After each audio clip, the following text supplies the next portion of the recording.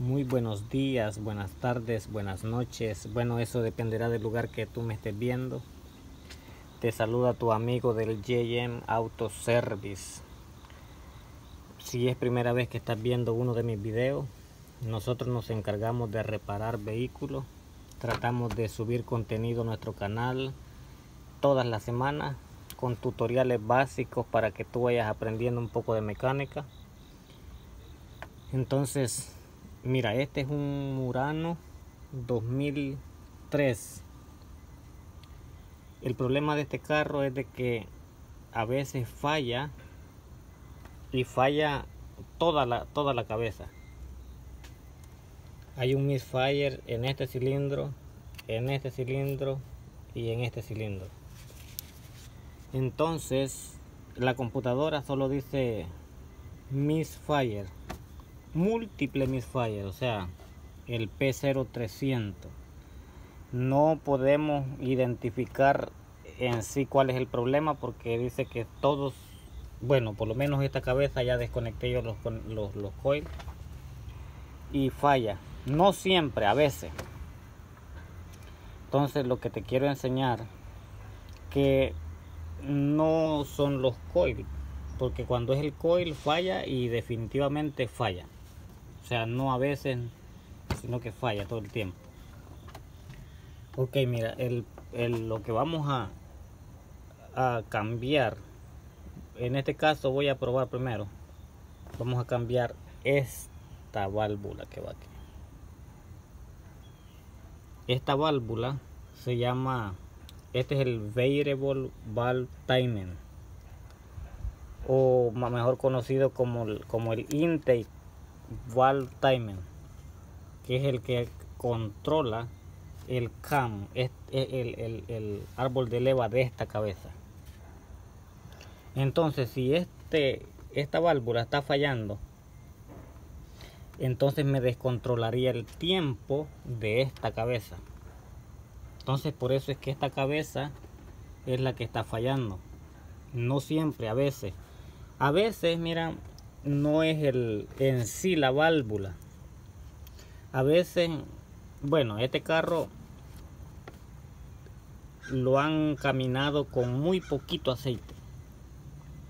Y cuando eso sucede, la válvula, porque esta válvula trabaja con presión de aceite, entonces si, la, si no hay suficiente presión, que en este caso no había mucho aceite, entonces no llega la presión suficiente y descontrola el tiempo porque este es el que regula el tiempo. En el aquí en, la, en el cam lleva un sprocket. Ese es el que regula el tiempo. Entonces si no hay suficiente presión eso es lo que pasa. Lo que voy a hacer ahorita es quitarla nada más y limpiarla y probar. Si continúa el problema pues vamos a tener que cambiarla ya le quité el tornillo ahí. Un tornillito 10 lleva nada más. Agarrando ahí. Pues ya lo quité. Como tengo solo una mano pues me complica un poco. Bueno no es que tenga solo una mano. Tengo las dos pero el problema es de que tengo la otra con el teléfono esta es una broma, solo para que... Ok, mira, ahí. Topa ahí, pero... Bueno, como, como ya te dije, la otra la tengo al teléfono. Entonces... La vamos a quitar fuera de cámara y luego te la enseño. Aquí ya la quite allí tú ves allí bueno no, no sé si lo puedes ver pero allí va un, pistón que abre y cierra. Entonces vamos a, limpiarla bien la vamos a sopletear y la vamos a, a volver a meter. Y lógicamente vamos a cambiar el aceite.